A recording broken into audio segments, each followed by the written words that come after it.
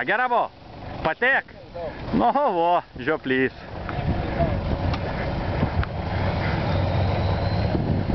O kiek privažiavo, eik tu sau.